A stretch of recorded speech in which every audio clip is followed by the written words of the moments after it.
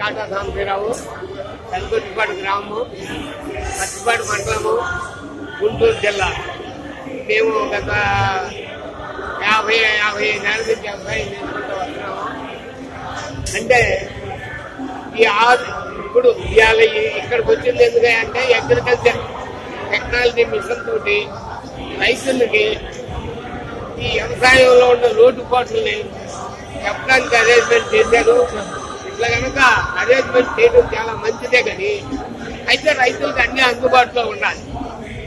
ఇటు సకాలంలో బ్యాంకుల రుణాలు కానీ మంచి ఇత్తనాలు కానీ మార్కెట్ సదుపాయం కానీ కనుక ఉంటే రైతు వ్యవసాయం చేస్తాడు. లేకపోతే ఇక రాను రాను వ్యవసాయం చేసే పరిస్థితుల్లో రైతులు మార్కెట్ రాగా సరుకు రైతు దగ్గరకు రాగానే మార్కెట్ డౌన్ అవుతుంది. అలాంటివన్నీ కూడా ఈ మిషన్ ఈ టెక్నాలజీ మిషన్ వాళ్ళు. మరి దీనికన్నా టేకప్ చేస్తే మరి రైతు కొద్దిగా లాభం కనుక వస్తే పంట పండించగలుగుతాడు. ఇక నాలుగైదు సంవత్సరాల్లో రైతు అనేవాడు పంట పండించే శక్తి ఉండదు దాన్ని మీరు అందరూ కూడా గ్రహించి ఈ వర్షం లేక అర్థంగా రైతే ఆడవట్లా. రైతు రైతు పంట కోసమే అడుగుతున్నారు. జనం పండించిన పంట ఎవరు పండిస్తారా? మనం తినాలని అనుకుంటున్నారు అర్థంగా రైతుకో కూడా ఈ బెటర్ రావటం. మరి ప్రజలు కూడా రేపు ఏం తింటారు? సకాలంలో ఇప్పుడు ఖరీఫ్ మొత్తం పోయింది. మరి రేపు రవి వస్తుంది. రవి నాటికి ఏమైనా విత్తనాలు కానీ ఎరువులు కానీ మరి అన్ని మార్కెట్ యాప్లు కానీ మరి మార్కెట్లో కానీ మరి వీటన్నిటి సదుపాయం కనుక చూస్తే రైతు కొంచెం తన ఖర్చులు కనుక తన కనీసం ఖర్చులన్నా వస్తే వ్యవసాయం చేస్తాడు లేకపోతే వ్యవసాయం చేయడు. ఇది కొంచెం మీరందరూ కూడా రైతు రమణీయంగా ఉన్నాడు కాబట్టి మీరందరూ ఆలోచించి రైతుని ఒక లైన్లో పెట్టమని మేము కోరుకుంటున్నాం. రైతులందరి తరఫున. ఇప్పుడు గత సంవత్సరంతో పోల్చుకుంటే ఈ సంవత్సరం వర్షాలు చాలా తక్కువగా ఉన్నాయి కదండి. లాస్ట్ ఇయర్ మేలో అరపదట్టు వర్షాలు కులిచి జూన్ నుంచి కూడా వర్షాలు స్టార్ట్ అయినాయి. మరి ఇప్పుడు జూలై జూలై నెలలో రెండో వారం వచ్చేస్తుంది. వర్షాలు పడలేదు. మరి రైతుగా మీకు ఆవేదన ఏంటండి? రైతుగానంటే ఇప్పుడు ఏమీ లేదు. ఇప్పుడు పూర్తిగా ఇప్పుడు ఏం చేయాలో మేము కూడా అగమ్యకోసరంగానే ఉన్నాము. మరి ఇటు బ్యాంకులో డబ్బులు ఇవ్వలేదు ఇటు ప్రైవేట్ వాళ్ళు కూడా వర్షం కురిస్తే డబ్బులు ఇచ్చేటట్టుగా లేరు. డబ్బులు ఇప్పుడు ఇది ఎక్కడుందంటే పెట్టుబడి లేదు. ఇటు వర్షము లేదు. ఇప్పుడు మరి పెట్టుబడి ఏడవుతా ఉంది ఇటు వర్షం కురిసినప్పుడు పెట్టుబడి అందాలి. సకాలంలో అందించాలి. మరి అందించాలంటే ప్రభుత్వం ఏదైనా చూసుకొని చేస్తే తప్ప లేకపోతే ఏమో అందదు. ప్రభుత్వం తరఫున కావాల్సింది రైతుకి. సకాలంలో ఇత్తనాలు సకాలంలో ఇవాళ కనీసం ఒక్కొక్క రసాయనిక ఎరువు యాభై కేజీలు కట్టుకి రెండు వందల యాభై రూపాయలు పెరిగింది. దాన్ని ప్రభుత్వం వాళ్ళు ఒక అంచనా వేసుకొని నిరుడు సంవత్సరం ప్రతికి ఎంత రేటు ఉంది మిర్చికి ఎంత రేటు ఉంది ఈ ఏ లెక్కన రసాయనిక ఎరువులు పురుగు మందులు పెరిగినాయి ఆ లెక్కన పెంచి మద్దతు ధర కనుక రైతుకి ఇస్తే రైతు పంట వేయగలుగుతాడు. ఇప్పుడు రీసెంట్గా కేంద్ర ప్రభుత్వం కొన్ని పంటల మీద మద్దతు ధరను పెంచారు కదా దాని మీద మీ అభిప్రాయం ఏంటి? మద్దతు ధర పెంచిన పెంచినంత వల్ల అమలు చేయాలి. ఇప్పుడు పెంచారు పేపర్ మీద పెంచుతున్నారు కానీ అమలు కావాలి కదా మార్కెట్లో మరి మార్కెట్లో అమలు కావాలంటే రాజకీయ నాయకులు మొత్తం వ్యాపారస్తులే. మరి ఏ ఏ పార్టీ అన్న పార్టీ ఏదైనా కానీ ఉందల్లో రాజకీయ నాయకులే. రాజకీయ నాయకులలో వ్యాపారస్తులు అయ్యారు మరి అలాంటప్పుడు నీకు రైతుకు మద్దతు ధర రేటు పెరిగింది గత సంవత్సరంతో పోల్చుకుంటే ఈ సంవత్సరం వర్షపాతం చాలా తక్కువ ఉందని మన వార్తలు కూడా చూస్తున్నాం కదా సార్.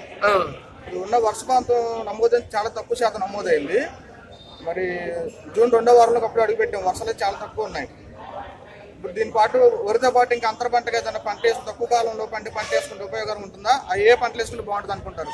రైతుగా మీరేం చెప్పాలనుకుంటున్నారు? మేము రైతుగా ఇప్పుడు ఖరీఫ్ మొత్తం కంప్లీట్ అండి. పోయింది. ఇప్పుడు రవిలోకి వచ్చాము. రవిలోకి వచ్చినప్పుడు సాగరం కనుక నిండినట్టయితే మనకి తిండి కిందల కరువు లేకుండా వరి వేసుకునేవాళ్ళం. ఇప్పుడు మనం ఏందా అంటే ఇక వాన కురవదు అని అనుకుంటున్నాం కాబట్టి దానికి ప్రత్యామ్నాయంగా కొర్ర కానీ జొన్న కానీ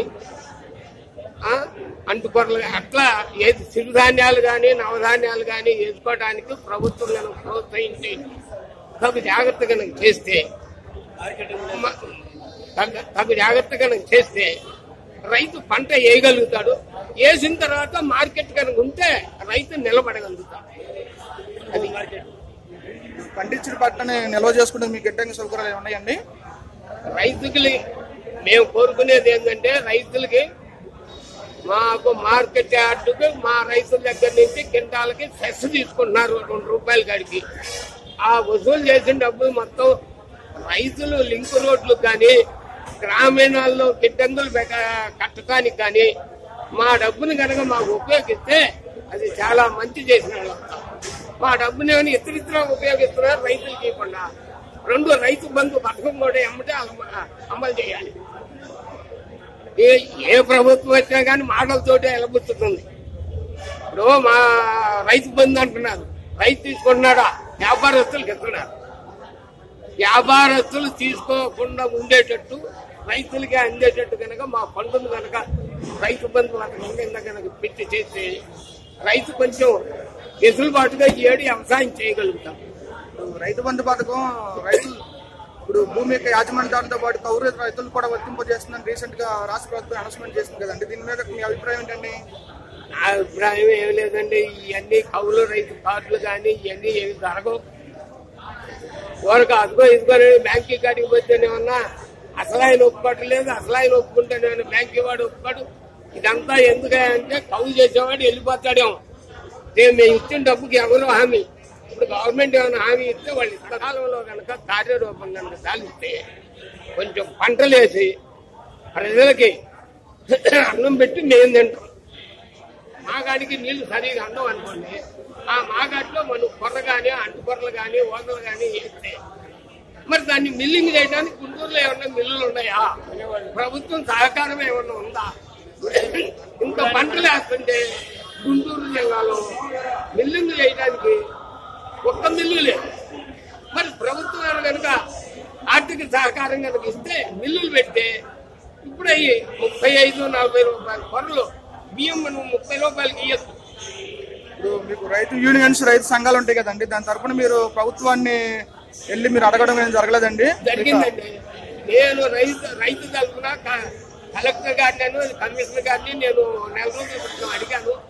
ఎందుకంటే ప్రభుత్వం మారింది కాబట్టి ఏదో మాకు గైడెన్స్ రావాలి ఆ గైడెన్స్ వచ్చిన తర్వాత మేము